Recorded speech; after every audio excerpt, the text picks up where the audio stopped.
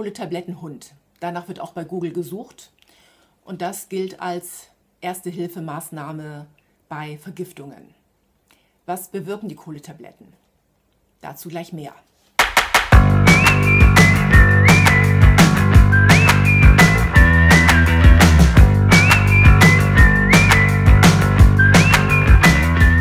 Kohletabletten haben die Eigenschaft, das Gift erstmal aufzunehmen, sodass es nicht weiter in den Kreislauf gelangt, dass also praktisch das Gift im Magen bleibt und da aufgenommen wird und nicht weiter jetzt über die Darmpassage dann letztendlich ins Blut gelangt.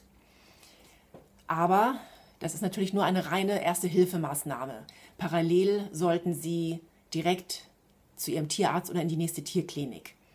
Und idealerweise ist es natürlich, wenn Sie zu zweit sind, dann kann der eine fahren, der andere ruft auch in der Klinik oder beim Tierarzt an, stellt fest, ist äh, die Tierarztpraxis überhaupt geöffnet, beziehungsweise schildert auch schon mal, was vorgefallen ist.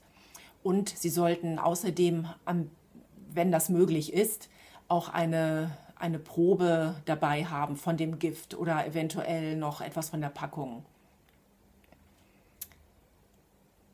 Dieser Hinweis, dass es keine alleinige Maßnahme darstellt, einfach nur weil es immer wieder entsprechende Suchanfragen bei Google gibt, sodass man entsprechende Rückschlüsse ziehen kann. Also dass einfach der Hundebesitzer wohl der Meinung ist, er kann das selbst in den Griff bekommen. Und ähm, das ist einfach Tierquälerei. Denn ein Tierarzt, der vergibt dann ja auch, äh, verabreicht ja auch Schmerzmittel.